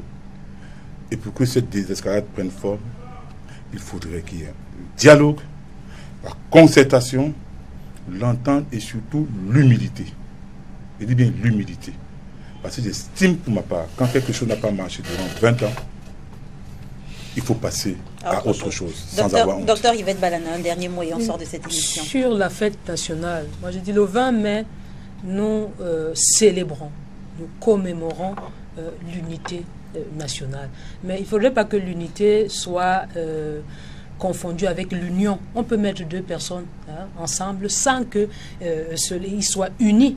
Donc l'unité, euh, pour se construire se, se fait sur le plan, elle se construit sur le plan politique, sur le plan économique et sur le plan social. Si vous êtes médecin, Culturel. si, culturel, si vous êtes avocat, si vous êtes, euh, je ne sais pas, si vous êtes euh, euh, cadre d'entreprise et que l'employé de maison qui vient laver chez vous tous les jours sort d'une cabane, ne sait même pas comment euh, on utilise, elle n'a jamais vu des toilettes modernes de sa vie. Comment pouvez-vous parler d'unité dans ce contexte de fracture sociale poussée à- à ce point-là? Et, et- et l'autre chose, c'est que l'unité, pour que l'unité soit une construction qui ait un sens, que la fête nationale devienne véritablement une fête populaire, euh, et des mécanismes sont là pour que cette fête devienne une véritable fête euh, populaire et sorte d'une dimension partisane où des partis politiques viennent faire des, des démonstrations de force parce que les partis restent des appareils idéologiques auxquels tout le monde ne s'identifie pas. Merci docteur d'avoir accepté notre invitation. Merci. Jean-Robert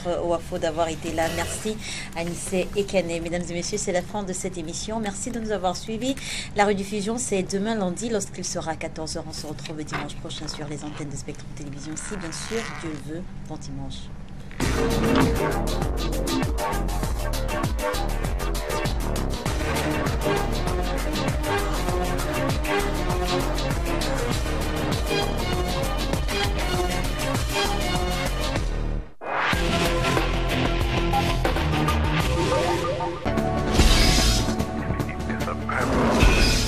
STV, your TV.